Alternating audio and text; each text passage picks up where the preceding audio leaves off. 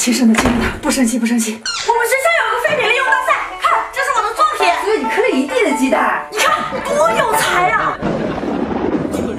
好样的，儿子！接下来我们要吃您种的鸡蛋哦。不生气，不生气，我生的肯定是我的问题，大不了今天换几个花样，都给它吃掉。舒芙蕾好久没做了，据说这个方子是米其林级别的，其实跟蛋糕的做法差不多嘛。用冰激凌挖球器比较好操作，盖盖等一层凝固，再叠一层，重复第三次的时候加点水，这么简单，短短的舒芙蕾就做好了。这颜值也太能打了吧！再来道菜吧，正好北非饭我也没做过，这道菜可是颜值跟营养都在线，各种蔬菜炒至软烂，舀四个蛋进去焖一下就好了，点缀个假装欧芹的香菜。据说这道菜风靡全世界多年，刚才剩的边角料正好炒个饭，重点不是炒饭，后放鸡蛋可是我多年的小秘诀。其实我是要做裙子蛋包饭，这锅刷不出来了，只好用这个炒锅底试试。但是怎么转不起来呢？哎，算了，还是用小丑锅吧。应该是刚才操作有问题吧。裙子流心蛋果然简单，番茄酱围个边儿，完美。主食也搞定了，开饭。要不要吃饭？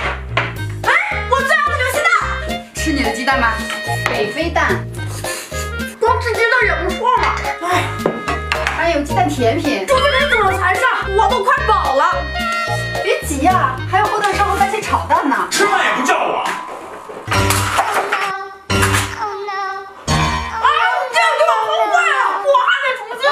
没事儿，这箱鸡蛋是我刚抢到的。现在淘宝送福利，点击视频下方链接，你也有机会花一块钱抢三十枚鸡蛋。继续做，妈妈支持你，爸爸也支持你。行吗，那。明知道我不爱吃，又买胡萝卜，这么好吃。哎，买了胡萝卜你说他翻什么呢？哎，你赶紧快快帮我找找啊！他藏哪儿去呢？不会是……臭小子，差点就给我暴露了。哎，怎么呢在这儿呢。又是这臭小子，我还就不信了，真是难搞的。一看看见胡萝卜就给我藏，我这不寻思着你小子爱吃炸酱面吗？我肯定能做的让你吃不出那味儿，还有营养。蒸熟的胡萝卜压成泥，加一个蛋清来和面会比较筋道。面粉少量多次的加，揉成一个不软不硬的面团。醒面的空来炸酱，菜籽油爆香蒜末，再炒香肉末，炒成炸酱贼香，简单省事儿，都不需要别的调味了。酱炸好了，接着搞胡萝卜面。做墨汁意面，我不是买了个压面条机吗？本来想省点力气，怎么也没想到粘在一起。那直接压水里试试，怎么一煮全断了？哎呦我的妈！算了，还是纯手工切吧。别说，还真比机器省事儿多了。这一刀顺下去就齐活了，而且下锅煮也没有软烂掉，过个凉水就可以拌酱吃了。这个颜色好看的很嘛，啥也别说了，流口水就完了。浓郁的酱汁儿包裹着面条，恐怕这小子能吃两碗。儿子，吃饭啊！炸酱面。这胡萝卜面，我看你吃挺香的呀。你怎么找到的？妈妈，是不是你？那你看到那个白瓶子写着字儿的那个酒了吗？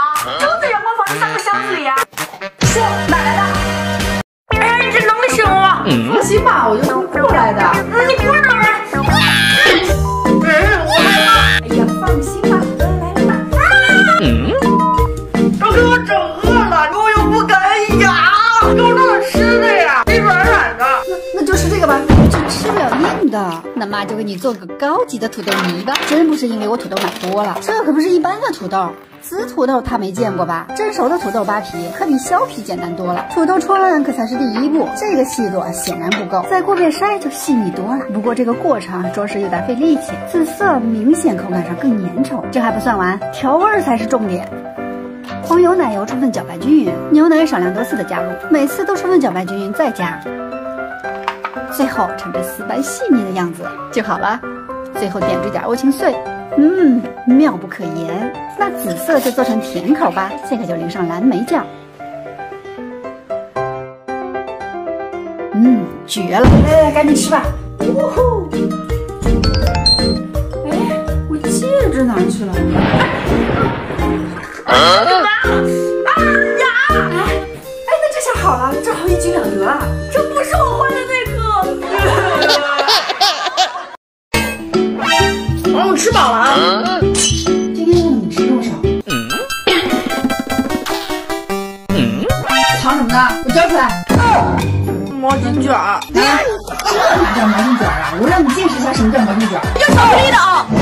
居然分不清啥叫毛巾卷儿，不是我吹，我做的毛巾卷比买的好吃一百倍。哎呀，说的我都有点馋了。这平底锅烙成一张张薄饼，最小火煎到鼓泡泡，接起来。这小子肯定是不能喝咖啡的，所以我给他做了原味抹茶和巧克力。饼皮搞定，咱还差个馅儿。夹馅不塌是有秘诀的，把这些混合后打发到比较硬的状态，这样就行了。最后就是叠铺个五六张饼皮，抹上奶油馅，撒上饼干碎、水果啥的，两边折上，再从一边卷起，先放冰箱冷藏。全部卷好，就差点缀了，那就根据自己喜好来吧。哇，看着都流口水。饮品自然也不能少了这小子的份儿，我来个西柚气泡咖啡，给这小子来个西柚果饮，奶香浓郁的毛巾卷，加上焦香微酸的咖啡。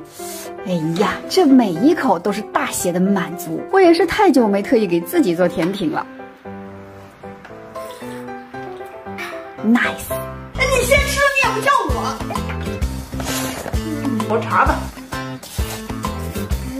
哎呀，你慢点吃，给你爸留点啊。饿死我了，我跟你做的挺像的啊。哎呦我的妈！你什么意思？你这是？你这不就是毛巾吗？来，儿子，过来吃面了。我要这个。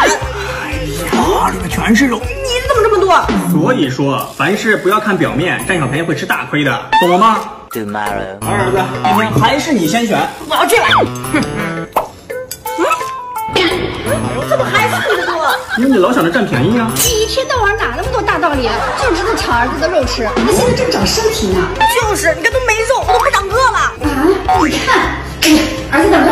今天我把牛肉啊做成零食，我看你还怎么用面盖。牙签牛肉我儿子很爱吃，不过外面买的多少有点辣。老妈牌的自然是不辣也贼香，牛肉要多腌会儿才会不柴又入味儿。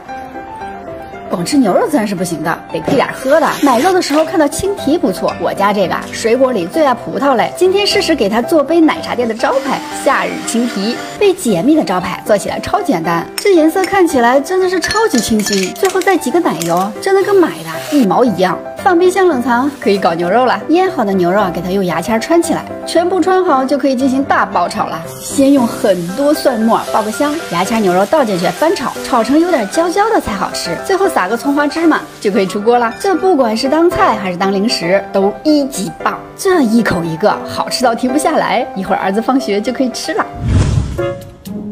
多放点辣椒，这小子吃。我回来了。来，儿子，你妈给你做的牙签牛肉，来来尝一个，尝一个。嗯，回去。嗯，干嘛？是有点辣啊。儿儿子，你帮我准备饮料吧。哎不不，这个最解辣。嗯。哎呀，行就这样，就这味。哎，你今天做那个饮料，那什么呀？酸了吧唧的。酸的，你胃坏了，舌头也坏了，金黄怎么可能酸？而且我还特意放了很多糖呢。好好，赶紧去吧啊！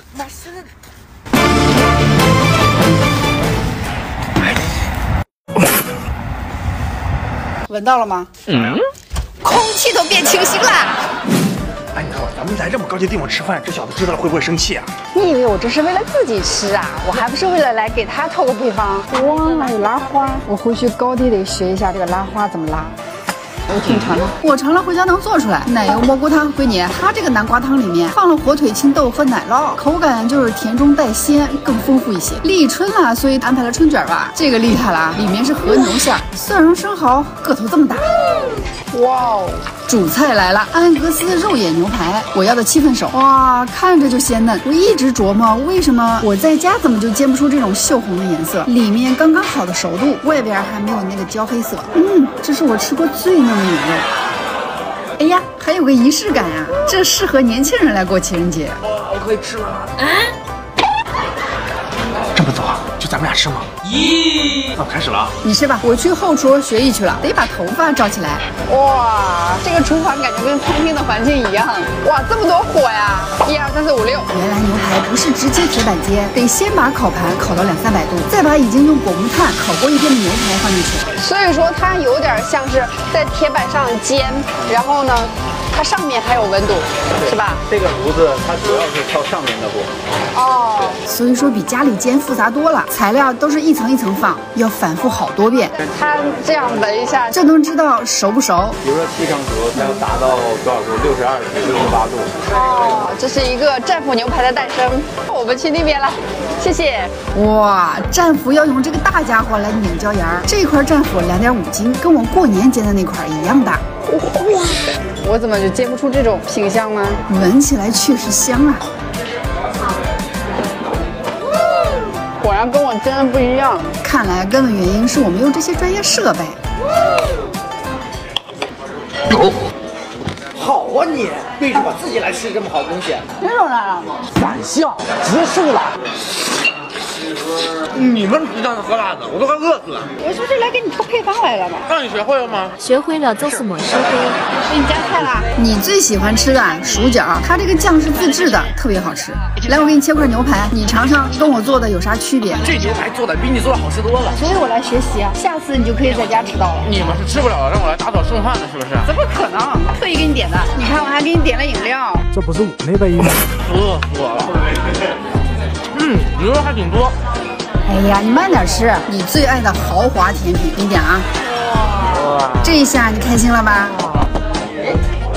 本来挺有气氛的，你一来，愣 是吃成了大排档的即视感。